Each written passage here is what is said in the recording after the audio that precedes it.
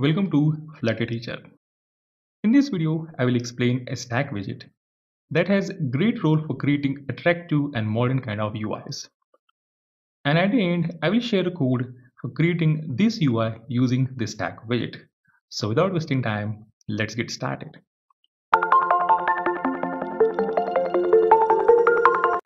Stack is the multi-child widget that places the widgets on the top of each other. We mostly use a stack for creating overlapping of widgets. Let me talk about some real life example of stack using this beautiful UI. You can observe here we have a, the image having a burger and at the bottom we have a container with some gradient having the black shade and inside this container we have some text, the buttons and some list of circle avatars. At the top side you can see again we have these star ratings and all these things and at this corner we have this heart shape here. So you can observe here there is a overlapping of widgets that has happened over this image and for creating such a kind of UIs we need to use a stack. Same is the case here you can see here there is some overlapping of this price, the heart symbol, some text and some buttons here. Moreover, if you observe uh, at this particular image here, you can see here for this particular image uh, we have this rating and we have this heart symbol. The observable thing here is uh, both this rating and heart symbol they have overlapped on this image and half of the portion is out of the image. So for creating this kind of UIs also we, we can simply use the stack widget. Now it's time for practical. Stack has property called children that requires list of widgets that has to be placed on the stack. Each widget that we place here will act as the layers for the stack. Stack basically has two kinds of widgets, positioned and the non-positioned widget. Basically, the widget that we wrap inside the position widget will act as the position widget and all the remaining widgets will act as the non-position widget. We mostly use image, align and the position widget as the descendant child of the stack. We have already created a video for image, align and the position widget. Go ahead and watch that one. Link is also there in the description. Let me add three different containers inside the stack. The first one is orange container with the width and height of 300 pixel.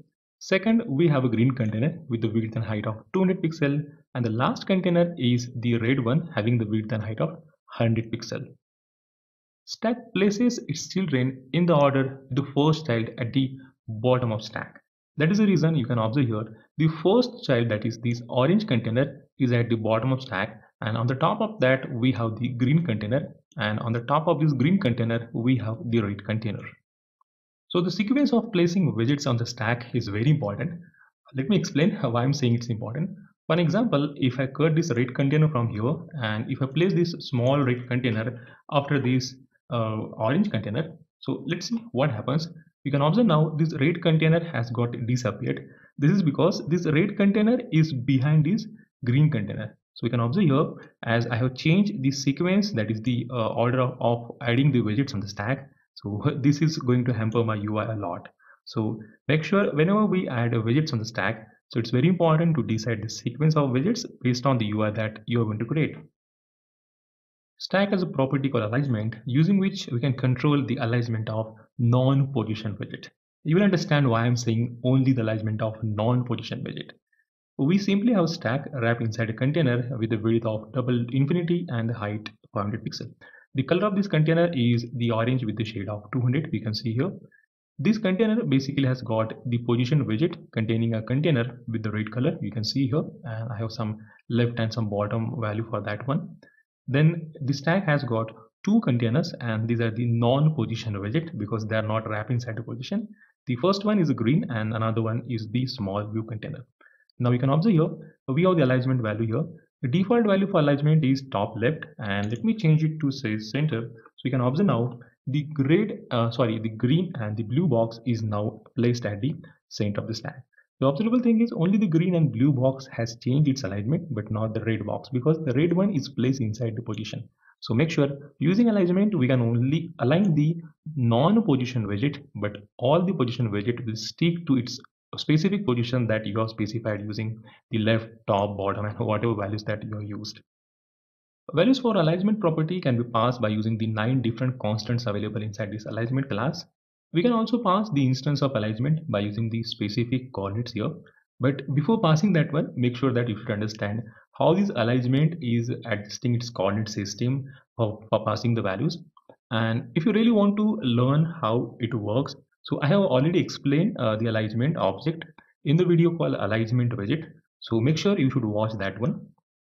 We can also pass the value for alignment by using the object of fractional offset, which is basically similar to the alignment, but it has a different way of organizing its coordinate system and which is actually starting from the top left corner. So I have already explained that uh, fractional offset in the alignment widget uh, video.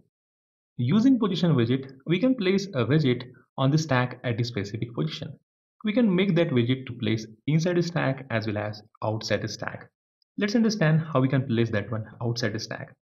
Inside this stack, we simply have a container, the width and height of 300 pixel having some green shade here. Then we have a position widget having the value of left and bottom means for the left we have minus 20 and for bottom minus 30 here left minus 20 means I just want to place this position widget outside the stack at the uh, 20 pixel from the left side and at the bottom side I want to place it 30 pixel below the stack so for that uh, reason I have made these specific values but you can see here this box is not getting visible out of the stack this is because we have to use a property called clip behavior. So let me use property called clip behavior. And for this, we have to pass a value say clip.none so that there won't be any clipping. So when I save here, we can observe now this particular green box is looking like the outside the stack. So this secret or this specific magic is used in most of the UIs to have some modern and attractive kind of look. Fit property of stack determines the size of non-position widget. The default value for this fit is a stack fit.loose. You can observe here as it is a loose, so all these widgets can enjoy its own size, whatever we have specified here. So that is the reason this red box is having the width and height of 200 pixel and the green box is having the width and height of 100 pixel. But if I change this one to say uh, stack fit dot expand, so that is going to expand each and every non-position widget of the stack. And you can see here this green box and the red box they both have expanded to get the maximum size available for its parent. One thing that you might have noticed here only the red and the green box they have expanded and not this orange box. This is because the orange box is actually the position widget. So you must take care that the fit property can only control the size of non-position widget but not the position widget Stack has a property called text direction that lets you to control the direction from left to right or right to left, which is quite handy while working with multiple languages. The default value of this is text direction.ltr that is left to right. So if I change this to say RTL, so this is going to move this text and the specific content of the stack at the right side so that uh, all the things that will get now align or say directed from the right to left direction. Now let me explain step by step how we can create this specific UI using the stack widget. Let's use a size box with the width infinity and the height 280 pixel that contains a stack and for the stack we have the clip.none so that everything that is get clipped outside the stack will be visible. For this children of the stack let's use the image. Now let's place a container having the black shade at the bottom side of the stack wrapped inside the align widget. Let's place a column as a child of this container. You can observe here, I have made the main axis size as the minimum for this column so that it should get the minimum size as possible. And I have made this cross axis to start so that this text should appear at the uh, start with respect to cross axis. This column has got two different texts. The first one is the bold text and the another one is the text having the uh, small size that determines the proportion of this particular image and in between this text I simply have used the size box to have some gap. Now let's place the position widget after this align widget and this particular position widget has got the circle avatar which has got this icon that shows the heart symbol here using this icons.favorite. I have made color of this icon as white and it is having the background of the black color for the circle avatar and to make that particular thing out of this stack I have used say bottom value was minus 24 pixel and from right side I have used the same alignment that we have for the text that is the 16 pixel here. So this is how we can simply use the align widget, position widget and all the things to make this kind of UI simply by using this stack widget.